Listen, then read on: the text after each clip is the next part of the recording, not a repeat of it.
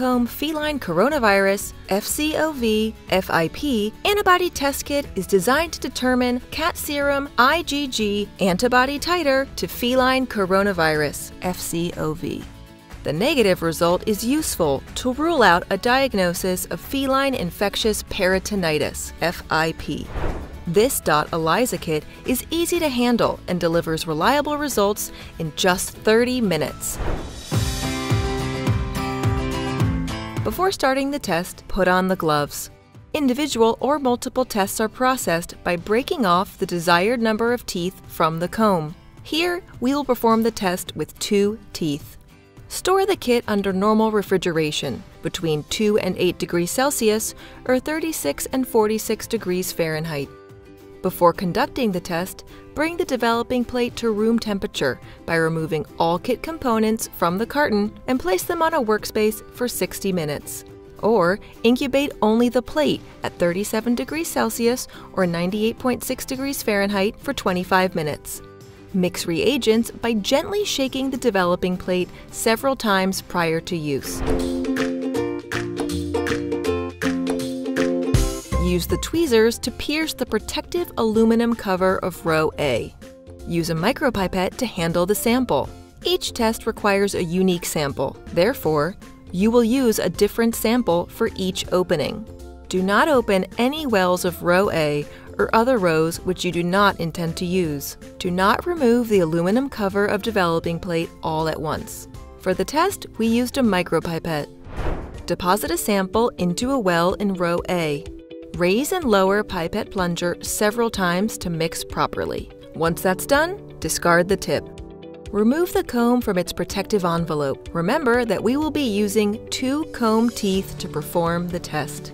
Insert the comb into the open wells in row A, printed side facing you, and incubate for 10 minutes. Attention! It is essential to follow the correct time intervals between each step to achieve accurate results. Avoid scratching the front active side of the comb by leaning it to the back while mixing. Mixing during incubation according to the instructions is critical to achieve valid results.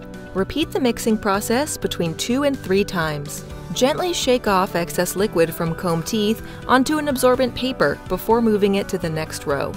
Pierce the foil of the next wells in row B. Shake off excess liquid and insert comb for 2 minutes. Move the teeth at least twice during each step. Remove excess liquid. Pierce the foil of the next wells in row C. Shake off excess liquid and insert comb for 10 minutes. Move the teeth at least twice during each step. Remove excess liquid.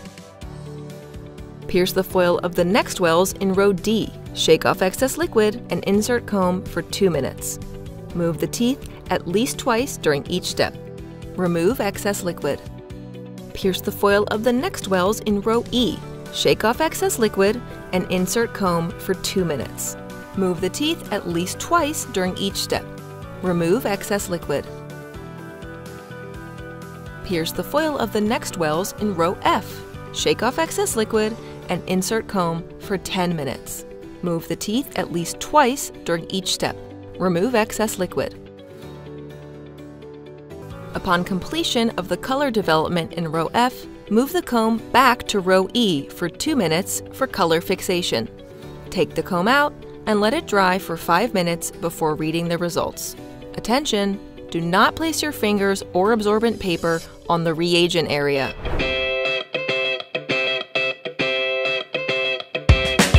When the comb is completely dry, align it with the calibrated color comb scale provided in the kit. Individual tooth reading is recommended. Find the tone of purple-gray on the comb scale that most closely matches the positive reference spot. Slide the yellow ruler until the C plus mark appears in the window above the color you just found. This step actually calibrates the C plus to S3, which is the cutoff point to which test spots will be compared. While holding the ruler, find the tone of purple-gray on the comb scale that most closely matches the desired test result spot. Write the score S result shown on the scale and read it according to the table in the instruction manual. This instruction video is for visual purposes only. Before using ImmunoComb Feline Coronavirus FCOV FIP Antibody Test Kit, please consult the most